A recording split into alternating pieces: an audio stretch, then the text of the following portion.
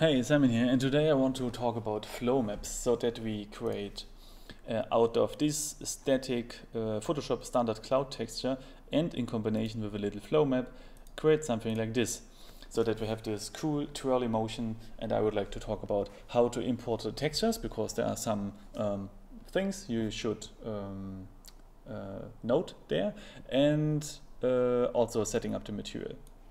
So let me get prepared here. And first we have to create uh, the flow map, right? So there's a flow map painter actually, which is really cool. You can just put uh, a paint uh, flow map here. It's even tileable. And the only thing you have to do now is uh, check this flip red. You can do it in the material later. I will uh, explain it too, but you, yeah, it's better if you just check this. Uh, define a path and a file name and then bake to texture and then we are ready to go and I prepared a material here where we have the flow map and this little um, uh, noise pattern and then yeah everything else will be uh, now done on the fly. So the first uh, what we do is we mask out uh, the first two channels R and G um, yeah because we only need a two-dimensional vector and not three-dimensional and our uh, flow map uh, is only 2D anyway. And then we can multiply this by a value just to, to have a certain um, strength regulation, so that it's not super strong. And then we add this to uh, texture coordinates, to the standard texture coordinates, like so. So we add this. It's a bit slow right now. I don't know what's happening here, but Let's just ignore that. Okay, and now we already have our texture distorted. So that's pretty nice. Um, something I have to mention here is that it is wrongly distorted. And this is because the values we get in here, because it's just a standard texture, um, are going from 0 to 1. But vectors can go from minus 1 to plus 1. They can also show into or point into uh, the negative directions. So what we can do here is a constant bias scale, which basically does two things. First, it um, subtracts a value. In our case, it shall be minus 0.5. And with that, we, we move all our values here coming from 0 uh, to 1 are now minus, uh, going from minus uh, 0.5 to plus 0.5. And the scale is basically a multiplication by 2.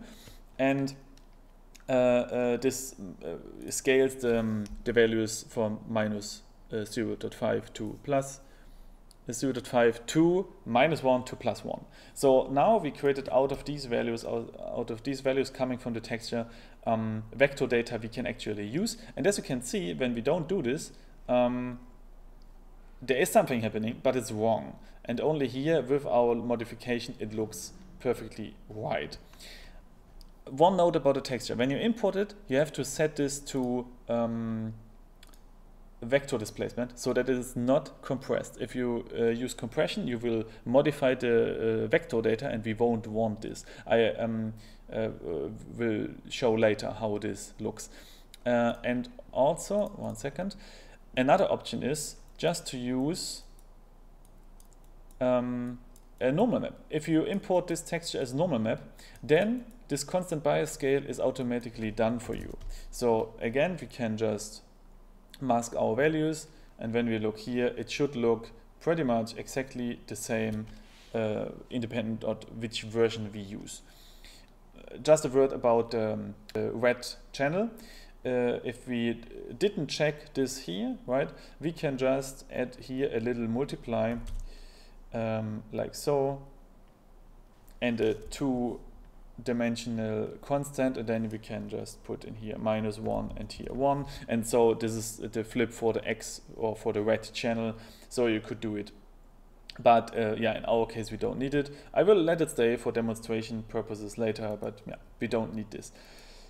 Okay cool. So but now we want to have an animation right? And for that we use a time multiply it with a value to make it a little bit slower maybe uh, 0.4. And when we debug the value here, we will see that uh, this is kind of big values and we don't want these big values. What we want to use is a frac, which basically uh, makes that whenever the time reaches um, to 1, it restarts at 0. So it goes from 0 to 1, 0 to 1, 0 to 1, and so on. And this we multiply with our flow map, which is basically that we scale the flow map strength. We start at the beginning, and more and more our um, our noise pattern is distorted. At the end, because of the jump here and the frac, uh, yeah, it will flip back. This is ugly, and we uh, have to do something against this. But um, yeah, basically we just fade in the um, the uh, intensity of the flow map. And to yeah work uh, around this issue with the plopping here, we do a phase separation basically. So this is phase one of our flow map thing. And we do the same again, but offset it by 0.5, which is basically, it's the same, but we go a little bit forward in time, basically. So we do a frac then afterwards, so it's, it's the same like, like above. Um, and we copy the whole thing here and multiply this with our flow map as before. And so now we have two, two times the same um, function, but offset it in time. And now we have to go back and forth between these. And we do this with a lerp. So one uh, input is this and one is this. And um, this lerp will, will um, make it possible to uh, fade between this phase and this phase. And now we have a we have to um, define how and when we want to fade between this phase and this phase, right? So we can use just this here and add a constant bias scale again. Again, same values, minus 5 and uh, minus 0 0.5 and uh, 2, and then an absolute value, an absolute node. And what this is doing, basically, here we have um, um, transition from black to white, and then it flips back. Okay, we offset this a little bit with that guy, and but but still the same behavior. And the absolute node is giving us that we go back and forth between uh, black, then to white, and then to black again. And there is no flip. Now we have a smooth transition between black and white. And what happening, or what we want, is basically when, um, let's say, this is our color values in the texture. So um, this is this is our our not the color values. This is the the flow map strength. Yeah, and it starts over and over again. And we want don't want to see this flip here, right? This we don't want to see. So what we just created is basically a fade in, fade out functionality so that um, when, when here we start, we fade in and then we fade out again. So at this point, when the flip would happen, we fade this phase out and yeah, so that we don't see the flip. And at this point, um, the other phase, let's see, like this, would then be uh, faded in. Uh, I hope this explains it but you will see that it works when we connect the, the lerp here. Now we see no uh, flip anymore. And if you look closely, you will see that there is, yeah, the, you, you see the fade in and fade out. It gets a little bit obvious or more obvious when we uh, let it run faster. Then you get these pulses, yeah, pulsating pattern here. And this is not super beautiful and therefore we can do something. We can just use a noise texture and add this here. So we offset again the time, but this time we not offsetting, uh, we don't offset uh, like here, right? Um, for all the pixels with the same offset amount with by using a texture, we offset um, the the time depending on the area basically. So here it's a different offset than here and so on because of the different color values in the noise texture. Uh, yeah, and that's it. We, we can play a little bit around by uh, by multiplying with a value to having it not super or as strong as here, but the basically the basic principle is already done. We can um, make it a little bit slower again like so. And yeah, this works already pretty fine, I would say. Now a word about uh, the compression stuff, okay? So I prepared here, this is a compressed texture. And when we zoom in, we can see this. Here, everything looks kind of okay. And when I connect this here, then we see these artifacts. So this is a standard, if you import this texture, the standard uh, settings will be this. And to have it uncompressed, you just set this instead of dxt1 here, this will be the standard, you set it to vector displacement. Um, and you can actually go really small with this texture. So here's our flow map. And I will change the size now. So it's um, 1024 right now, it's the original resolution. But we can go really small with that. We can even go to 16 and it still holds up.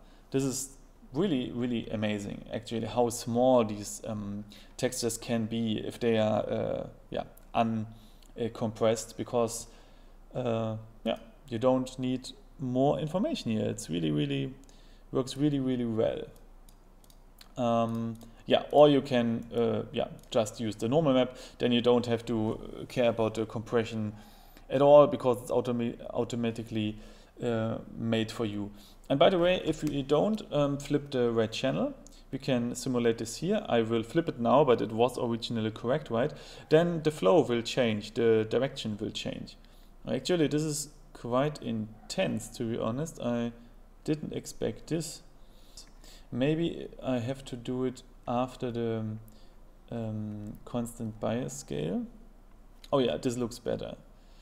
Does it? I hope it does. Let's see if I don't connect this.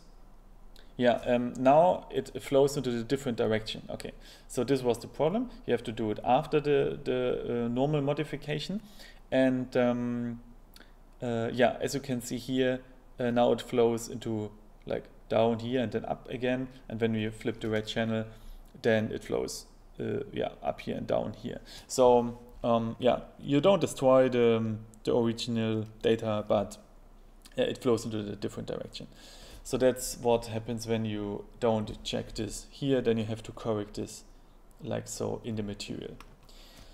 Okay, um, I think this is everything I would like to show. Just to recap, we just learned the basic principle of uh, how to create a material, how um, the phasing works, so that we have to have two phases and blend in between them. Uh, we learned about the compression and how to make uh, real normal data out of a standard texture or use um, a normal map right from the start. Um, uh, how to uh, invert the um, the texture channel. And yeah, I would say that's, um, that's already enough. Thanks for watching and I hope you learned something.